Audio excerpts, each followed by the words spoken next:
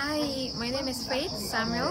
Um, I'm an African, but the Samuel, uh, let it. So, um, I am the managing director for the Pan African Audiovisual Library here at Tumaini African Knowledge Center, uh, which has been managed by IMR African Consulting.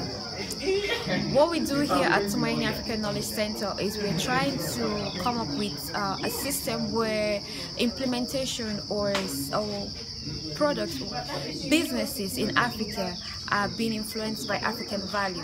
We have had so many systems uh, around the world or so many ideas being brought into Africa, but we draw our lessons from how China and Japan were able to succeed in their businesses because they went back and understood their value, how to implement things based on their, their cultural settings, and it's really working for them.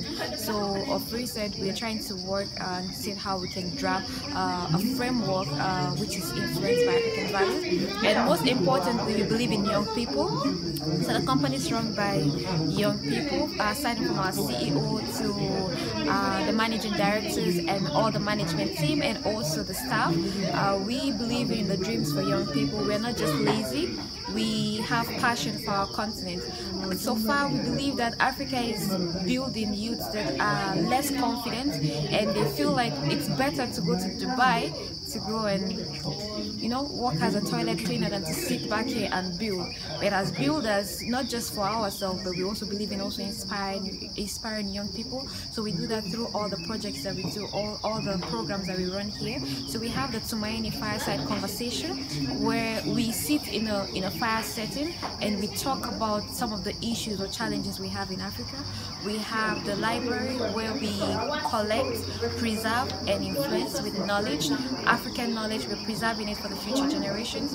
And also we have uh, the, the entrepreneurship program where we get young Africans that are passionate about entrepreneurship or they have businesses, but then they need that training and skills where we connect them to mentors and all of that. We have advisory services where we connect bankable projects to investors using our wide range of investors and, uh, and also our partners and our board of advisories that have that are from different African countries. Uh, we through them we get to connect um, entrepreneurs in Africa to uh, investments and not just connect them to investment. We give financial advisories we take them through the entire process so that when the business comes in they can they are ready to expand their business.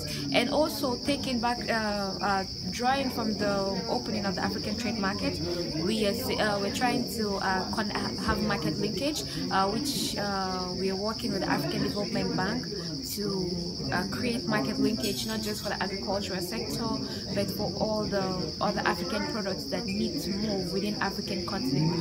So far currently we are in five countries in Africa. Our headquarters here in Uganda, uh, we're in Kenya, Botswana, Namibia, and uh, Mozambique. Um, in the next, uh, by the end of this year, we're hoping to expand to uh, four more African countries. Uh, as long as time goes, we're going to expand uh, to other areas. Our company is focused on major areas, technology, which is brings us back to the, the library. We're also focused on um, uh, knowledge, that's research. Uh, we also focus on healthcare. Of recent, we're working on a project, uh, the peacekeeper, uh, the Uganda being the hub for uh, or hub for treating peacekeepers in Africa. And we also work in the agricultural sector. Uh, that leads us back to our project with African Development Bank. And yes, so basically, we are everywhere using knowledge to, inf uh, to influence decision making in Africa based on African system, based on research that we've understood the African system and how best uh, we can use that knowledge to influence or make decisions that would better Africa for the future generations. Thank you. Thank you.